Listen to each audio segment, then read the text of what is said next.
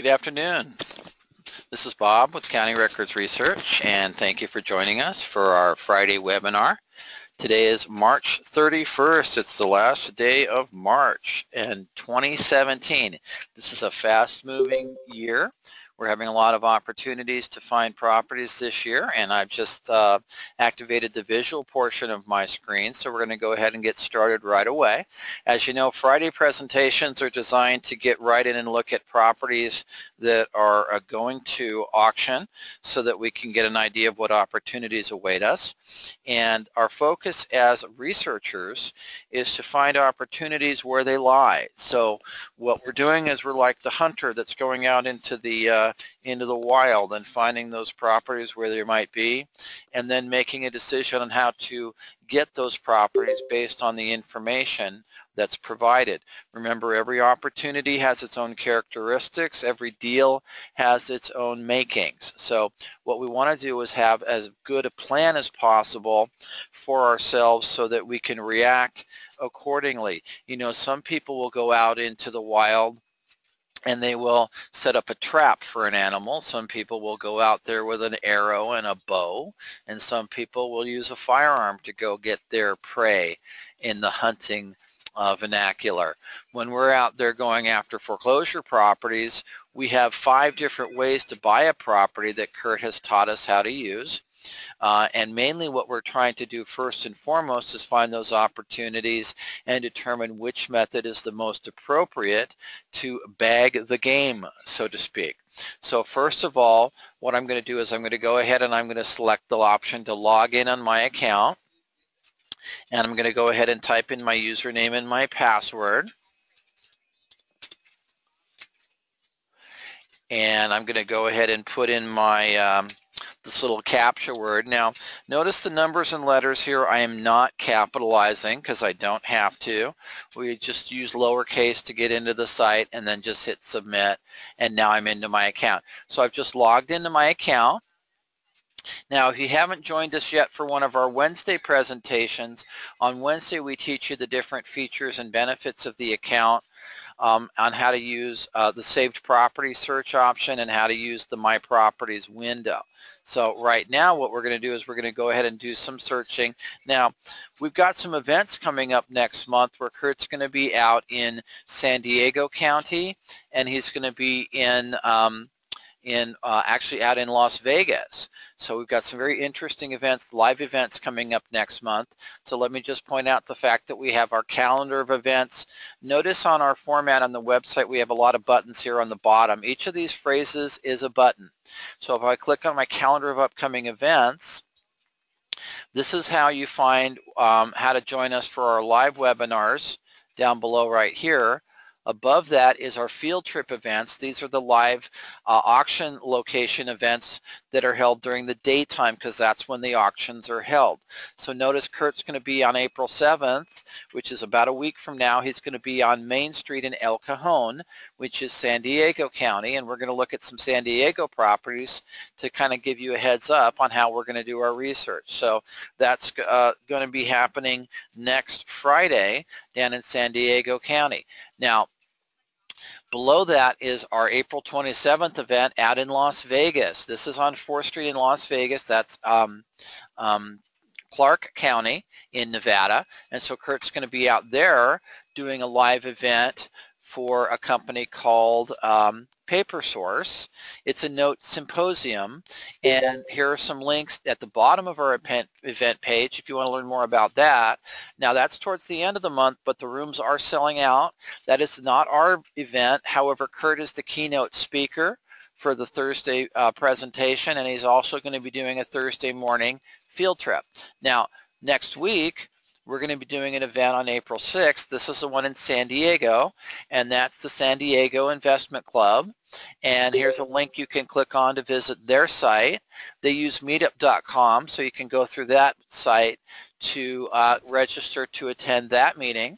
And that's going to be from 6 to 7 on April 6th which is Thursday. So Thursday night, Kurt will be doing this presentation, and then Friday morning, he'll be doing the field trip.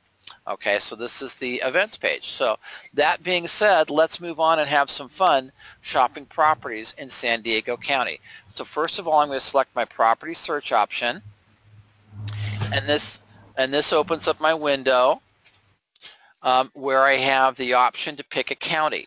So you notice that I have my, um, uh, I have uh, all five states at the top, California, Nevada, Arizona, Washington, and Oregon. So I can pick any of the zones in any of the states because I have all the zones.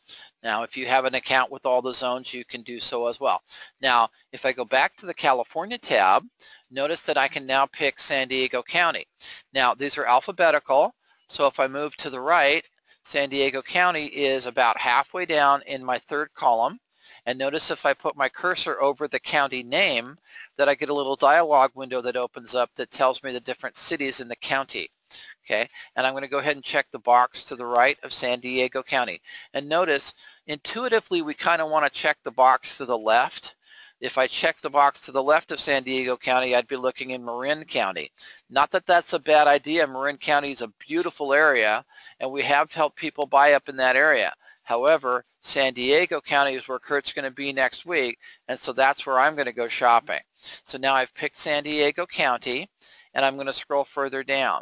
Now, notice the single property search. We're going to use this in just a few minutes to demonstrate how we do secondary research once we've established interest in a specific property. Okay, but first I'm going to go down to my general property search and I'm going to put together a targeted search based on the fact that I know Kurt's going to be out in San Diego County next Friday. So first of all, I've got a couple of choices to make. Uh, notice a default is the first category that's always going to be selected when we come to this page. And a notice a default record is the first group of properties that have entered foreclosure. A notice of default states that the lender has established that the property is behind on payments. Now, we have a listed date range down below that is matched up to the notice of default choice. And this listed date range is always going to be looking backwards like looking in your rearview mirror when you're driving your car.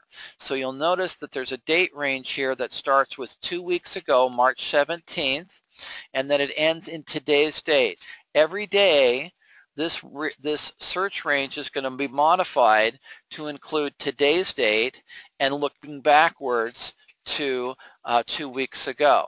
Now, am I locked into that range? No, I can expand this further. Now, it's important to recognize the reason we have March 31st here in the right-hand window is that that is the most I can go forward because this is based on when we add the record to our system. So today's date is the most recent date that I can use in terms of putting together a list of notices default.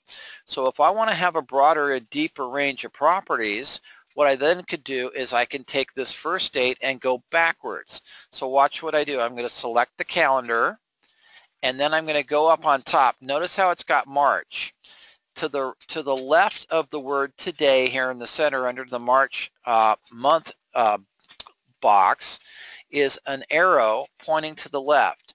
Also notice to the left of that arrow is a double arrow. I'm going to use the single arrow and go back one month to February. And then I'm going to go back and I'm going to select um, February 28th. Okay, and let's see if it lets me go ahead and do that search.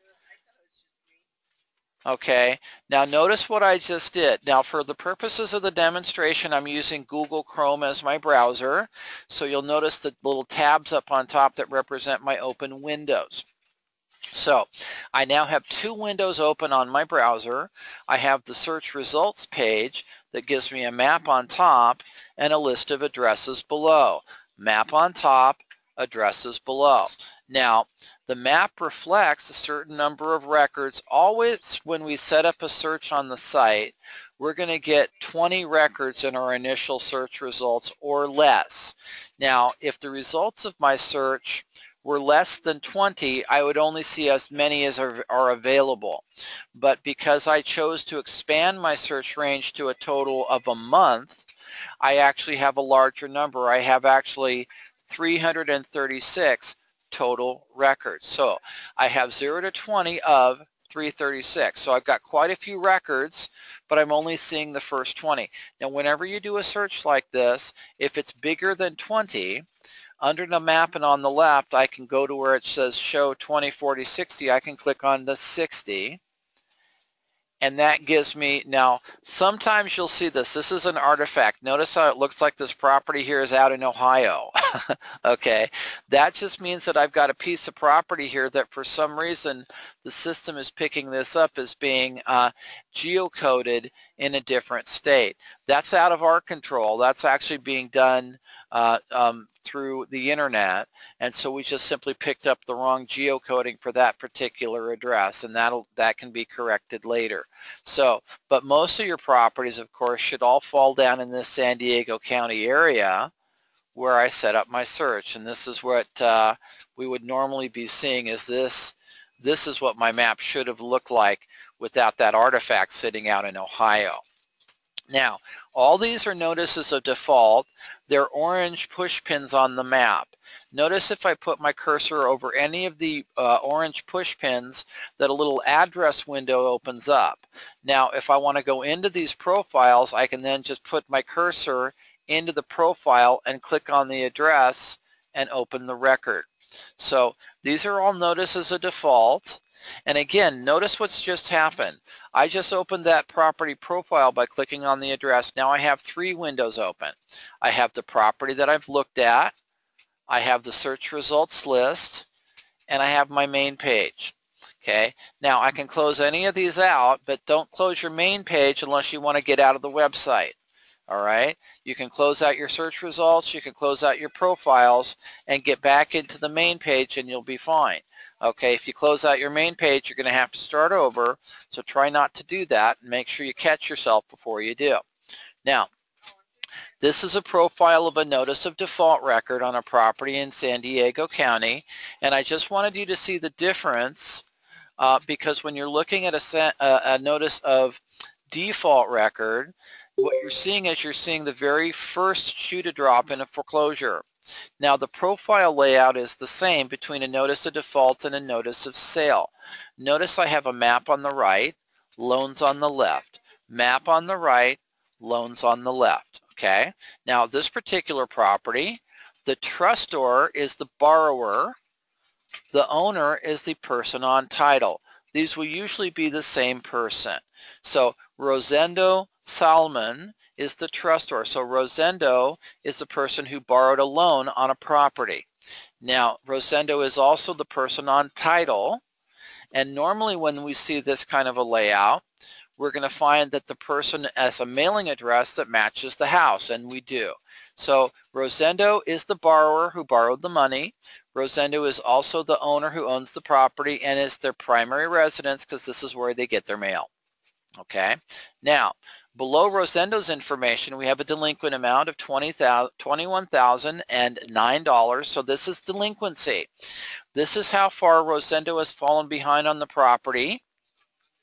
And this is how much I'd have to come up with if I wanted to bring the loan current and buy the house from Rosendo. Now, what else do we know?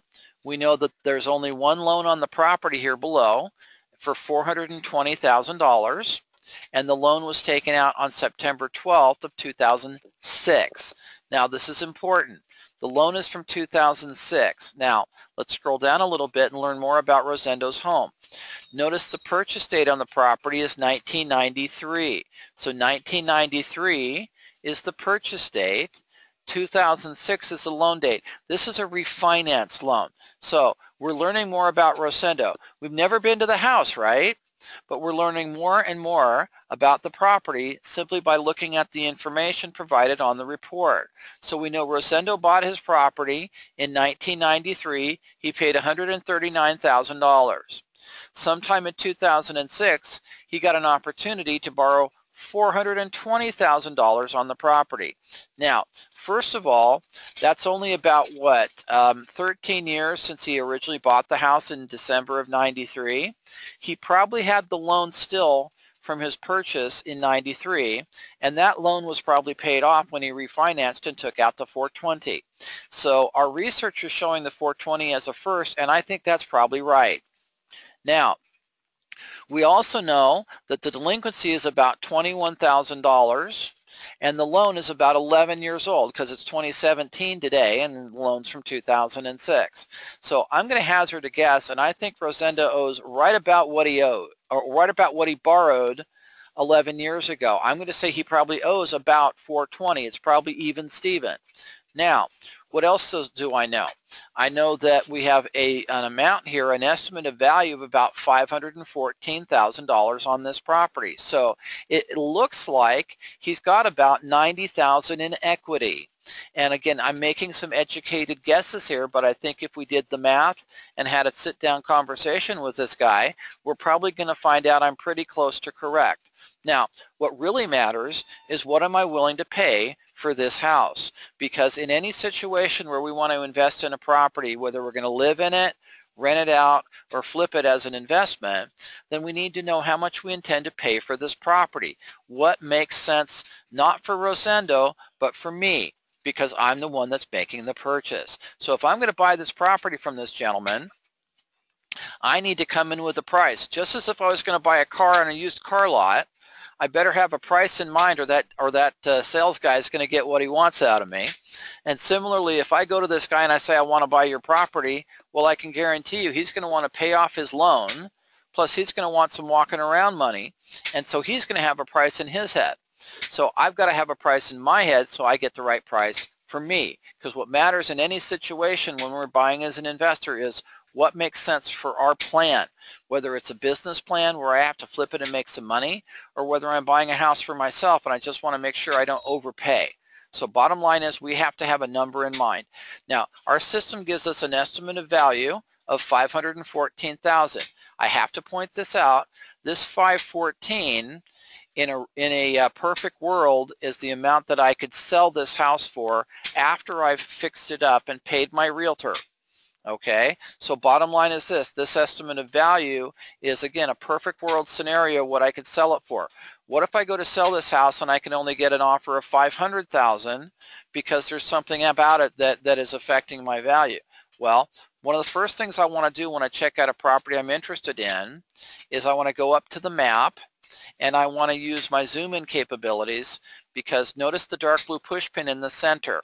Okay, the, the subject property will always be centered in the map.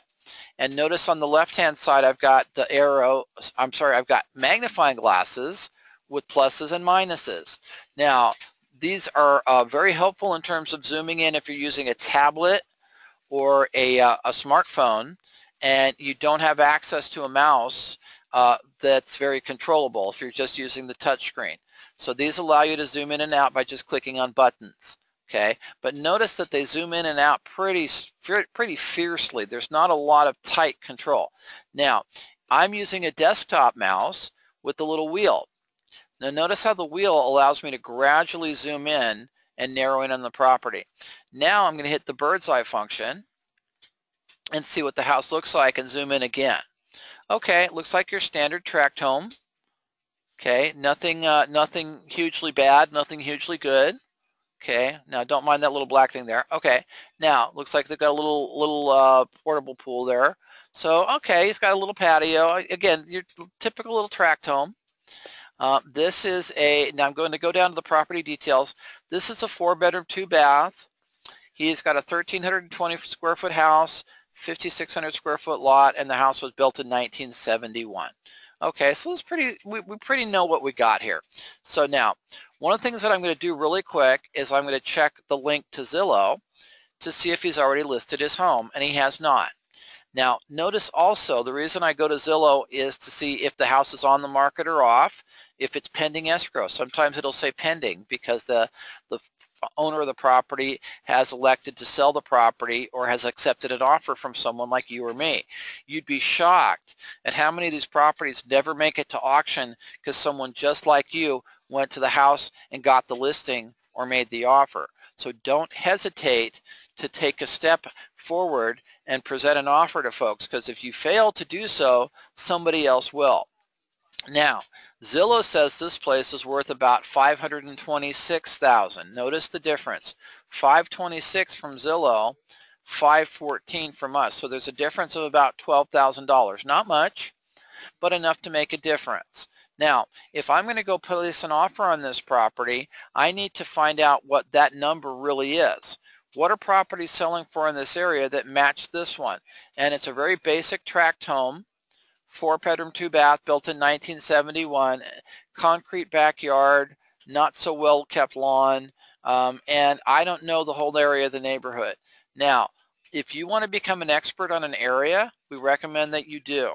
If you're a realtor or a broker and you want to become an expert on this area near Flanders Drive, then you want to become an expert on this area. I would focus on the area between Camino Ruiz, Mira Mesa, uh, and so you got this area and this little lake that you got over here. I would get to know this area. I'd also get to know what's in the vicinity. We've got a park. Um, could there be a college nearby? Got a few different parks. Okay. Now, if you're an expert on San Diego County, okay, there's the college. There's San Diego Miramar College. If you know what's in an area, then you know certain things that have certain value. For instance, this might be a great rental property to rent out uh, to students going to the college. So certain things add value, certain things take value away. Realtors know this, and if you don't have an experienced realtor that's a friend, then you can learn a little bit more about it by doing some studying. And the bottom line is you need to put a value on this property. Now, as I said, Zillow says it's worth about 526. Our system says 514. You need to narrow that down. This is going to tell you how much you could flip the property for potentially at the conclusion of a purchase. So now if I go to this gentleman and offer to buy his house, then I would backtrack and say, what is it going to cost me to fix it up? He bought the house in 93. He refinanced it in 06, but looking from the pictures, it doesn't look like he fixed the place up all that much. It looks like he took equity out and was probably using it to do other things. He might have done a little bit of upgrading on the property, but I'm still going to have a lot of originals from a house built in 1971. So let me say as an, as an investor, I might set a, a target price point of about 400,000 on this property, just as a general rule assuming I'm going to have to spend about 20 or 30 grand to fix it up. I'm going to have to pay a realtor to show it. I am going to have to pay Uncle Sam some taxes on my profit on the sale, and therefore I might want to make sure that I'm going to walk away with at least 30 grand at the end of everything okay so maybe I'm going to walk away with 30 grand at the end of everything so I'm going to say let's set a price and again this is important just set a price so now if my price is 400,000 and I think that Rosendo owes 420 then my offer is a short sale. Okay, now let's say I go to make my offer of 400,000 and he says, no, I've got to pay off the 420. This is really important to me. And I look at my numbers and I say, okay, can I make this work? Then I would decide maybe, maybe go ahead and offer the 420. But then once I get into an escrow, then I have the potential to draw that back a little bit and maybe drop it to 410 if I discover a lot of problems within the property. Now, again, this is the decision you make as an investor because once you start stepping into the area where you're offering less than what is owed, then you're involving a third party, you're involving the lender, and they have the power to disengage the escrow by saying, no, we want our 420 minimum or we won't let you close this sale. So just remember, once you go below what's owed on the property, you're involving a third party. As an investor, you just have to keep that in mind. Now let's say, for instance, you checked everything out and you decide, I cannot spend more than 400 and you go to Rosendo, he says okay, but the lender says no, or you go to Rosendo and he says no. If the deal doesn't come together now, it could come together later because other investors will have the same mindset and if this property got a notice of default here on February 27th, notice the as of date, then that means if nobody can put a deal together with Rosendo, then the lender can issue a notice of sale exactly um, three months later. So we're looking at basically May 22nd with an auction date sometime in early June. So I would say if either someone's going to make a deal with Rosendo before then, or you've got a June sale date uh, sometime around the second week of June. Now, if someone locks this down as a short sale, it's very possible the lender might accept it, or they might not. If uh, if they don't, and if and again, you got to get Rosendo and the lender to agree. If not, then this will be an auction property. Now, this is a notice of default record Notice there's no auction information at the bottom. There is a section for us to um, write notes.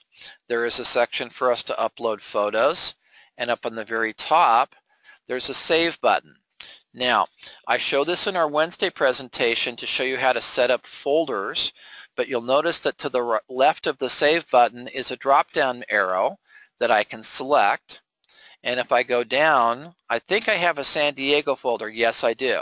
So I can select the San Diego folder and I could say that I'm very interested in this property and I can hit my save button and I just saved Rosendo's house to my San Diego My Properties folder for later use because maybe sometime down the road I'm going to want to use that for one of my Wednesday presentations to show you some of the other ways that I set it up so that I can be notified if he gets that notice of sale coming up in May setting up an auction in June. Now if you want to know how I set that up look at my last Wednesday presentation where I did exactly that. I picked up a notice of default property and I set up a, a um, Polygon search looking for upcoming sales in the same area and that way I made sure that I would get an email notifying me if a notice of sale came out on that particular property. So do yourself a favor, go to our YouTube channel and, uh, and look at our last Wednesday presentation and you'll get a chance to see exactly how I did that.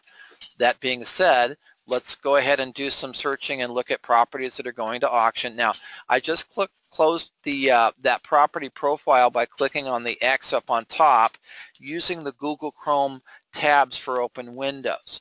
Now, every record page um, has the possibility to close it by clicking on this X up on top or going to one of the designated um, closing buttons that we have.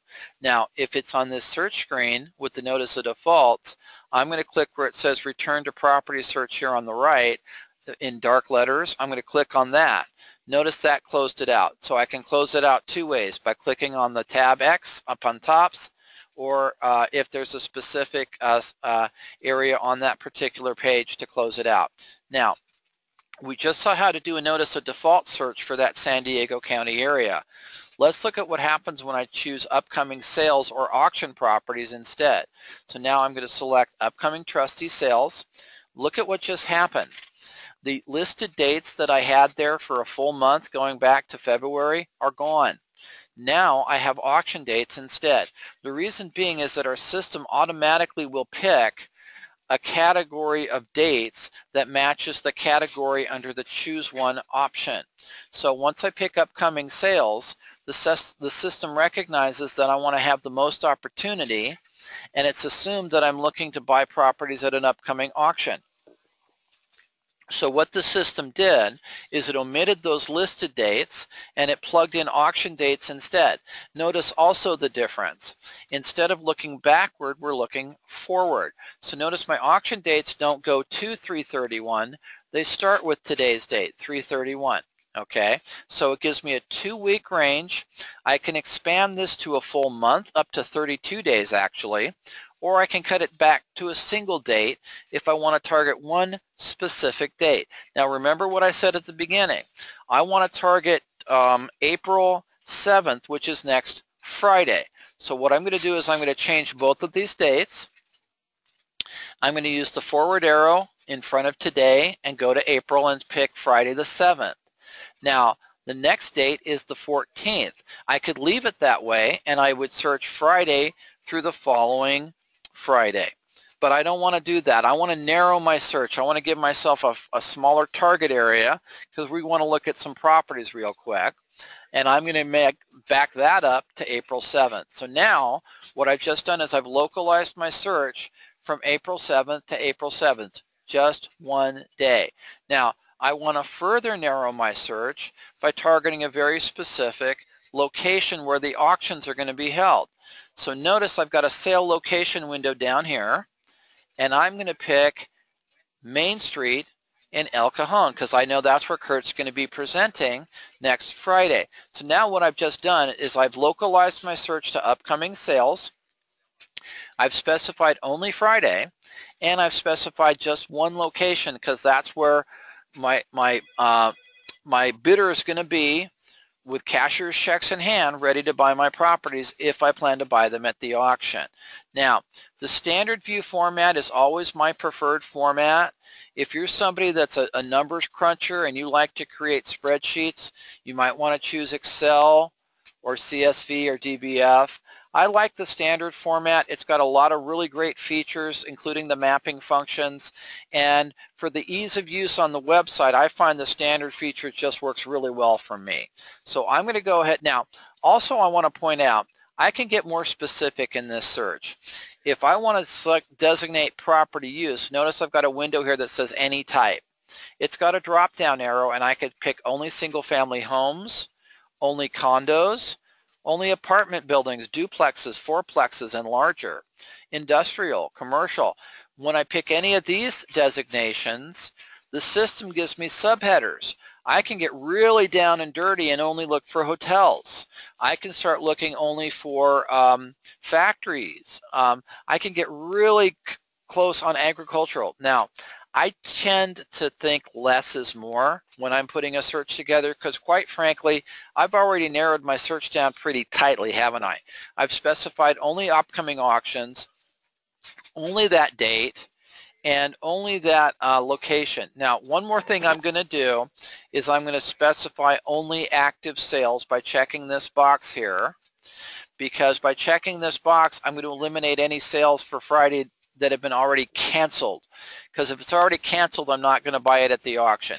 Now, if it does get canceled, there are opportunities still. And on some of my other Friday presentations, I talk about that.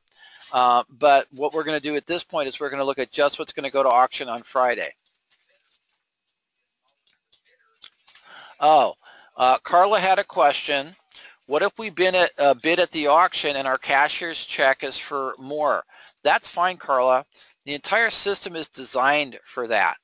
If you hand them a check for 500,000 and your purchase price is 250, then within two weeks you're going to get a, a, a business check in the mail for the change. So every trustee that processes foreclosure paperwork knows this process backwards and forwards. They're going to get that cashier's check from you and the receipt that you fill out at the auction says Carla paid 250, not 500,000. So immediately what they're going to do is as soon as that cashier's check clears, they're going to cut you a check for the balance and you're going to get that in the same envelope with your trustee's deed upon sale that you take to record to the county. So don't worry about it. People overpay all the time. Uh, it's you got to make sure you have enough to cover what you're willing to bid and most of the time when a bidder goes to auction with a maximum price in mind they end up paying less than that at the auction and it's assumed that I'm going to get my change. Now what I like to do and what I recommend my, recommend my clients to do is have a group of checks, break them up, have maybe a big one and some little ones or several big ones and then a couple little ones because if you overpay by five grand, uh, you're waiting two weeks to get five grand back. If you overpay by 500 grand, then that's going to be a long two weeks, isn't it? So you want to make sure that you're going to wait uh, that two weeks for as little as possible just to let you rest a little bit easily and, and sleep a little bit better. Okay. That being said, let's do a search and see what's going to go to sale next Friday that's only active sales. Okay. And I'm going to hit search and here's my report. So now, this is my report in the um, Notice of Trustee Sale format. Notice what's immediately different. The icons on the map are different colors. Whereas the notices of default were orange, these are now green and yellow. Now, notice there are other options here. If some of these sales had already finished, then I would have some properties that were purple if someone bought them as an as a third-party buyer like you or me, or blue if they were an REO because someone else had bought them who was in fact the bank. Uh, a lot of people don't realize this. It's important to point out. Every auction that is held ends with a winner. Now, if that winner is you or me, then it'll be a third-party buyer, an investor, or a person buying the house to live in. If the bank who held the auction because they weren't being paid winds up winning the auction because nobody steps up and outbids them, then the bank wins the auction. So REO properties, banks that are lender owned, are lender owned because at the auction, nobody outbid the bank. Okay, now can we buy those from the bank? You bet. A lot of people like to chase REOs after the auction. However, a lot of your great deals are held at the auction. And if I go to buy a, a property from the lender after the auction, the lender does have a right to set a price based on market. So just remember, at the auction, the lender is limited to what they are owed in terms of what they can ask for. But once the auction's over, if the lender owns the property, the sky's literally the limit, and the lender has a lot more say in the matter. As a matter of fact, it's just like a short sale offer. If I go to make an offer before the auction and the homeowner owes more than the value of the home, then I've got to ask not only the homeowner to agree, but the lender to agree. If it's after the auction and the bank is now the owner, now the bank is going to hire a broker or a realtor to represent their interests and the interests of their shareholders, and it's their obligation to try and get as much as they can. That's why if you can get the property before the auction, if there is an equity position already, or if you can get it at the auction because there's an equity position, do so. Take advantage of the opportunity while the iron's hot. Now, uh, like with that previous report, my map reflects 0 to 20. Now, we don't have 336 records because remember what I did. I wasn't searching a whole month. I was searching a single day. So we only have 33 properties. So below, because it's 33 is less than 40, I'm going to click the 40 down here on the left. And I've just reformatted my map. And these are all the records that are set to go to auction next Friday.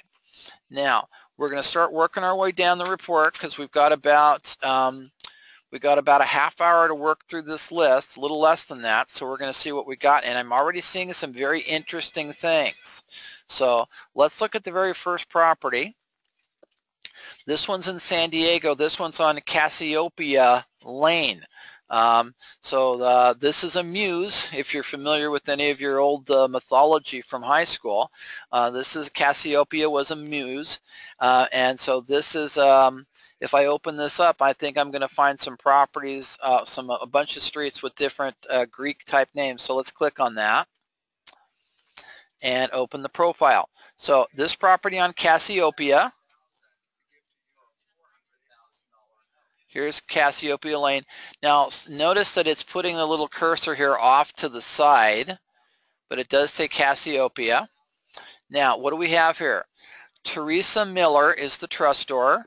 Teresa Miller is also the owner. So this is similar to the one that we just looked at as a notice of default. Notice also the Cassiopeia Lane address is her mailing address. It's also the property address. So it appears that what we have is Teresa is a property owner. She bought her property, purchase date 2003, loans from 2006 and 2014.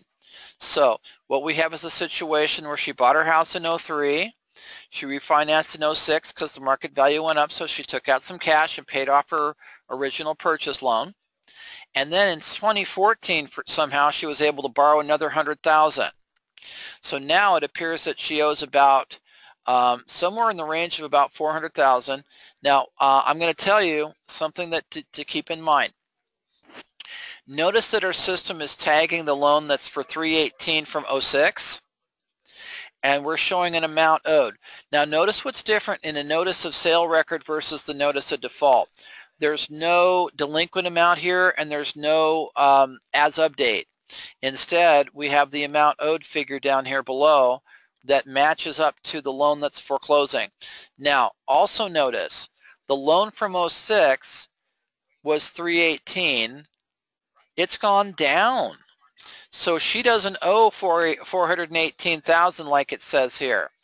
The 318 has dropped to 199. So this is a $200,000 loan from 2006. It's not 318. So now the loan here from 2014 is either a standard loan where she borrowed 100,000 or this could be an equity line. I'm kind of leaning that this might be an equity line, but I'm not sure. I'm guessing. But let's say that she does owe the 100,000 on the second and the 200,000 on the first. That would mean that she owes right around $300,000. What's her estimate of value here?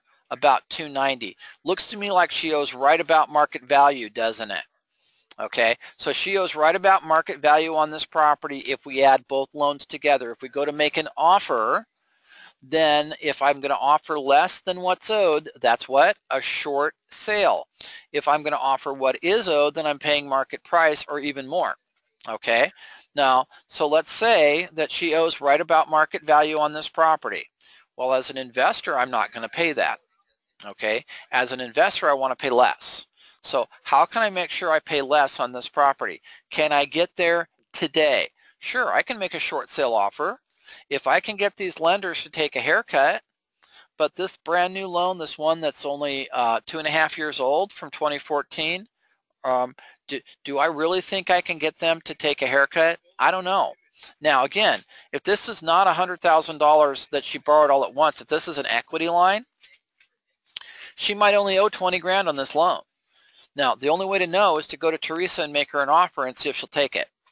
Now, if my offer is, uh, let's say my offer is 200,000, just just for argument's sake, let's say my offer is 200,000.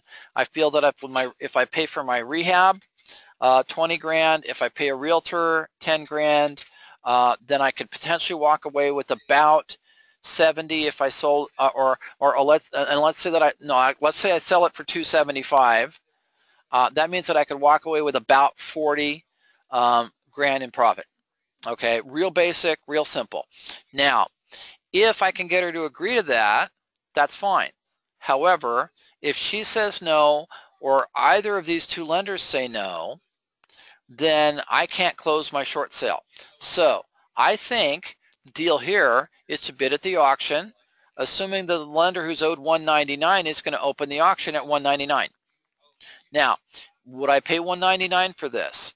Good question. I just threw a number in the air. Yes, Carla, a short sale. You, notice she lives at the address.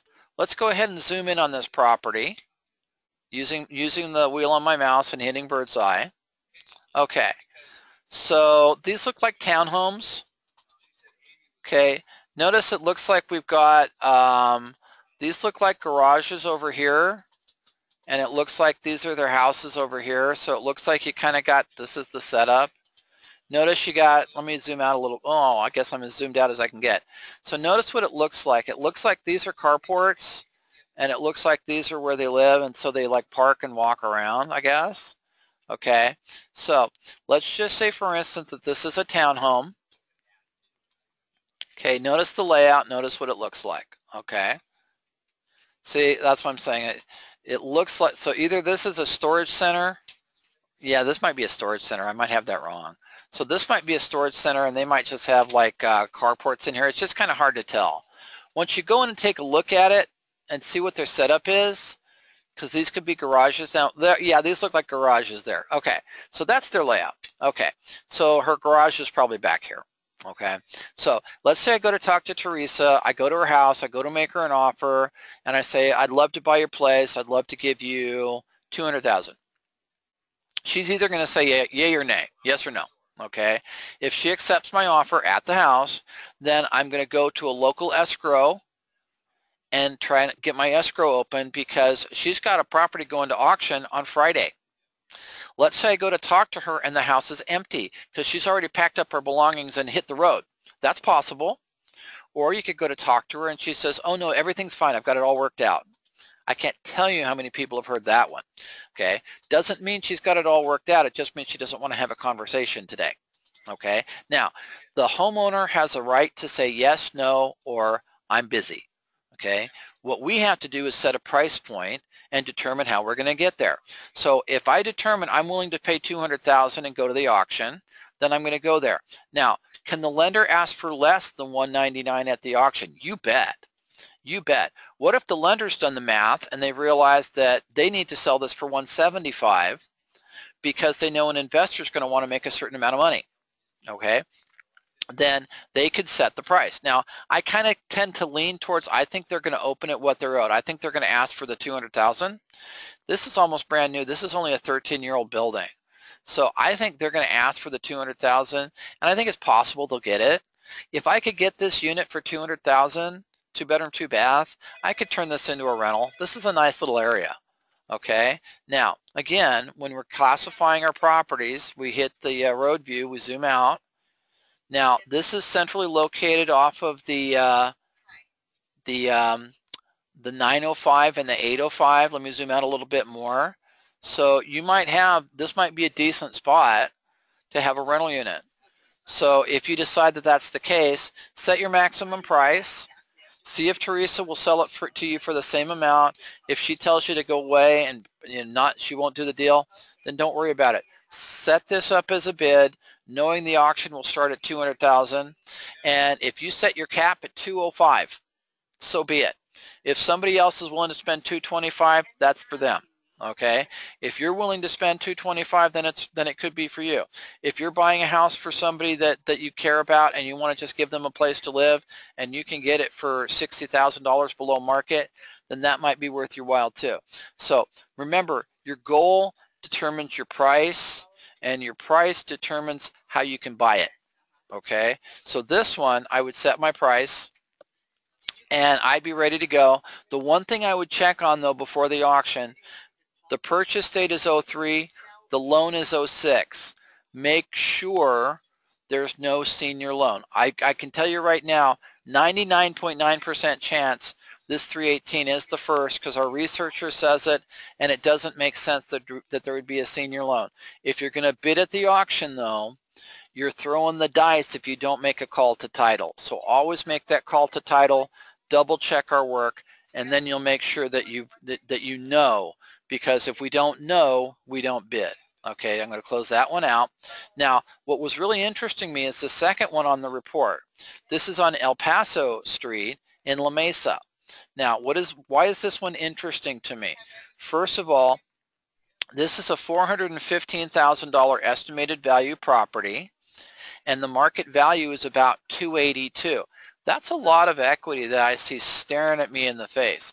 And to show you what I mean, look over here under auction equity, 132,000. Now, this looks like a detached home. It's got an 11,000 square foot lot size and it or 11 excuse me 1100 square foot lot size that would be big huh 1100 square foot lot size but it's a 7700 square foot lot and what is appealing to me is that I notice that we have a second here in our senior junior loan column. Notice how on that first she had a second of $100,000 on, on Cassiopeia. But this particular property, their second is a dollar. This is a reverse mortgage property. I see these every day now and I like to point them out to folks so you know what you're talking about when you see one of these properties. This means that you've got a homeowner that decided to pay off their previous loan if it was there, or they simply had already paid off their home and decided to take out a reverse mortgage where the lender pays you over the life of the loan. Now, this is what retirees have a tendency to do if they've got their house paid off and they simply want to create an income stream like an annuity. So let's go ahead and open up El Paso and let me show you why I found this one interesting. So first of all, um, what we have was we've got a loan from 2007. And again, reverse mortgage, the telltale sign is the second of a dollar. Okay, whenever you see that, that means that the borrower had either paid their house off already or they used this purchase loan to pay off their, I'm sorry, they're using this refinance loan to pay off their original purchase. Now, whatever loan might have remained would have been paid off out of the total sum that was paid out over the life of this loan. Now, that amount is going to be shown here as the amount owed to lender. This is what was paid out of the 544. Disregard the 544. This 282 is all that's owed. Now, this is important. Mary uh, Giannis, Mary Giannis is the trustor. She's the one who took out this reverse mortgage. Now, she's also the owner on title. So the question comes down to this. Did Mary pass on? Or is the reason that this property has gone into foreclosure is that Mary failed to keep up other things current? She may have failed to keep her insurance or her taxes current. Which means there could be an opportunity to go to the property and offer to purchase a property from Mary because Mary has to pay 282,923 to satisfy the lender. So the amount owed of 282 is much less than the market value of the home of about 415. Hence our system is giving us an auction equity figure of 132,000. There's enough room here for me to make an offer to her if she's still uh, available to talk to.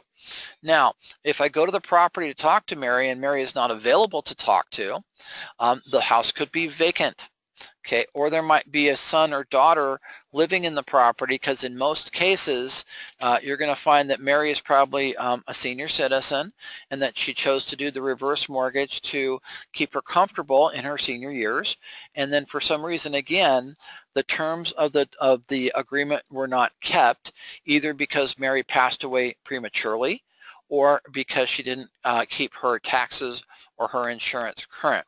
You're going to find out if you go to make an offer. Okay, now let's say I go to the property and let's zoom in again and look at the property. Okay, corner house. Okay, let's see what we got here. Okay, so we've got a corner house here and uh, not a bad area. Let's see if we can zoom out a little bit. Okay, Notice we've got some green, green area back here. Okay. So um, let's just say that we're interested in this neighborhood. Okay. Now, first of all, we can say, all right, uh, what am I willing to pay for this property? Assuming it's worth about 415. Uh, I'm going to check Zillow really quick. I want to check Zillow because sometimes what happens is, let's say that if Mary had passed away and she had family, and she had taken the appropriate steps so that the family could um, sell the property if anything happened to her because you've got a 400 plus thousand dollar home where she only owes three. There's room here for the family to make some money if there's family to make money. Okay, so now we don't know the answer to that question. Is there, are there sons and daughters? Is there someone in the house? Is there a, is there a spouse that was not included in the paperwork? So therefore there's a, a, you know, a live-in boyfriend that was in the house. We don't know. Now, if we go to the property and go to talk to someone, the main question is this. Do you have the power to sign for Mary? Can you accept my offer to buy the property? Because if not, if this person that's left in the property after Mary has left is not able to sign any paperwork or create a uh, uh, or, or get a probate going, this will go to auction. Okay, remember the whole process of foreclosure is designed to take a house that can't sell and make it sellable again. Okay, so now if Mary's not available, if it's completely vacant, if the person that's there is completely out of touch and doesn't know what to do, then this house will go to auction. It will go to auction for what's owed of about 282. Okay, now at the auction next Friday, in El Cajon, they're going to open at about 280 and it seems like it's worth about 415. Okay, so if that's prime for me, then I'll have my cashier's checks ready. I'll be at that location for when they call the sale at the 1030 auctioneer. And uh, I might not be the only bidder because other people will spot this for what it is. This could go for 305,000, 310,000, we don't know. Okay, what we do know is we need to set a price and be ready to bid, but go make an offer because whoever's in the property, they just need to cover that 282. So you could possibly buy it for the same price you could at auction by making an offer to the homeowner. You're not going to be able to buy the note uh, because this is a reverse mortgage and they need to close out the file. So what I'm going to say is this.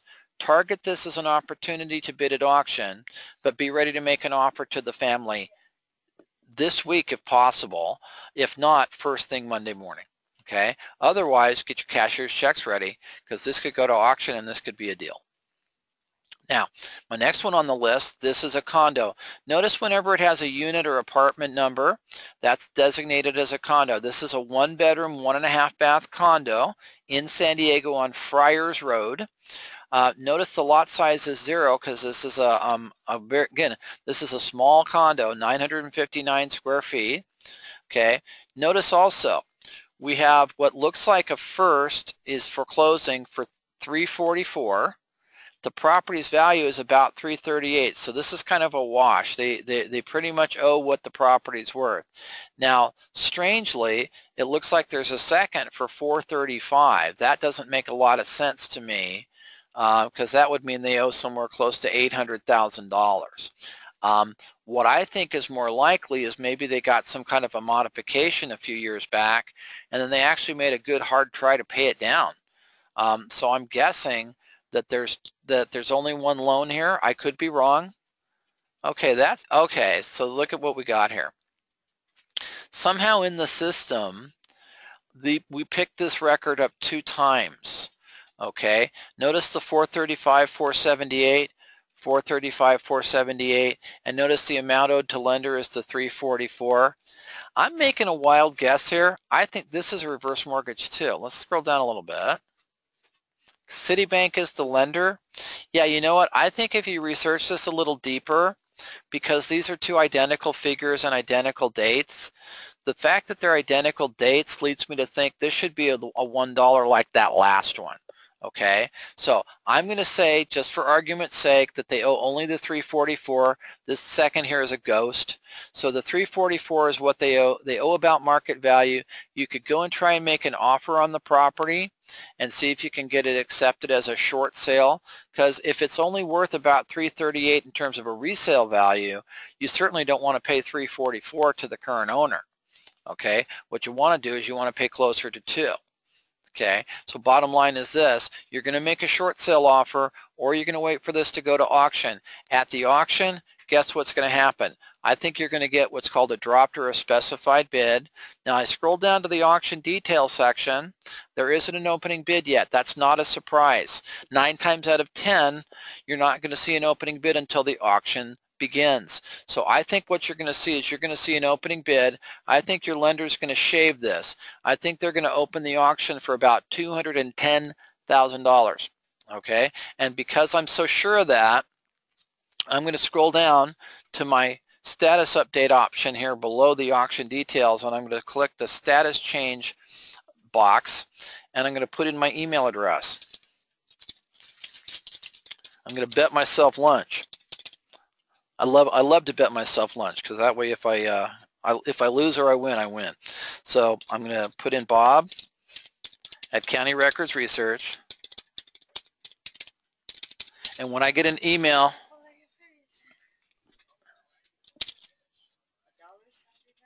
Okay. Um, gosh. That was really slowed on the uptake there. Had to type that in. There we go. There's my email address. So I've typed in bob at countyrecordsresearch.com. I've selected status changes and I'm going to hit submit. There we go. So now it's just taken my information and I'm going to get an email through my My Properties folder that's going to notify me of a status update. Because what I think is going to happen, I think in between now and next Friday, this lender is going to discount that opening bid to somewhere between um, 210 and 225 because I would think in this circumstance they're going to want to simply put this property up for sale and get what they can. If they open the auction at about 210 or 220 then they could get as much as 250 for this place and I don't think they're going to get much more than that but I think they have to start it at a lower price to invite people to bid at the on the property. And because uh, if they start at 250, that's kind of iffy. Okay, but if they start at 220, I think they'll get a, they'll get at least one taker. And if they announce the the bidding uh, to start at that price the morning of the auction or the day before, then they'll probably get several people to come in and buy this property because it seems to be in a good location right next to a golf club, a really good place for a retiree to live. And notice that the trustor is the Gene A. Brown Family Trust. So I have a very strong feeling that I'm right about this and that that's, uh, that, that was a reverse mortgage. Uh, you could go by the property and find out, um, but uh, I think you're going to find this probably will the property will probably wind up going to sale. Now, finally, we have the, la the, the next one on Meadowbrook Drive in San Diego, and I'm running out of time, but we're just going to kind of give some overviews. This is a, um, a three-bedroom, one and a half bath. Um, looks like we've got a large lot size, 11 uh, 11,000 square feet, 1,380 square foot house. This one uh, is right below market value. The bank is owed 351 The property's worth 369 if this goes to sale on friday i think the lender will discount i think if they open at 351 that's not low enough um, i think that they're going to need to take this down below three if they want to uh, to score a bidder at the auction. If they're willing to take it back as an reo they'll open it at the 351 this one on hartford in san diego two bedroom one and a half bath.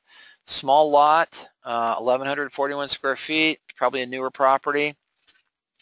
This one, uh, the bank is owed more than market value by about $20,000, plus there's a $100,000, or $99,000 second.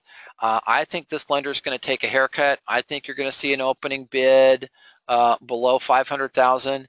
If you do, this will be bought by a bidder. If they try to get anywhere near what they're owed, this is going to also wind up being an REO. Uh, we're running out of time, so I'm going to have to cut it off here. Thank you so much for joining us for our Friday presentation. This will get loaded up to our um, our YouTube channel so that you can add, we can add to our library of presentations. So please feel free to join us by going to our YouTube channel and watch our previous Wednesdays and previous Fridays. Also, feel free to go to our calendar of events on the lower left-hand side of our main page anytime by clicking on calendar of upcoming events so that you can uh, join us any Wednesday and every Friday for our live presentations. Remember, we're always going to look at different properties every day. We're always going to find different types of deals, but every time we open up the website and look for opportunities, we're going to find them.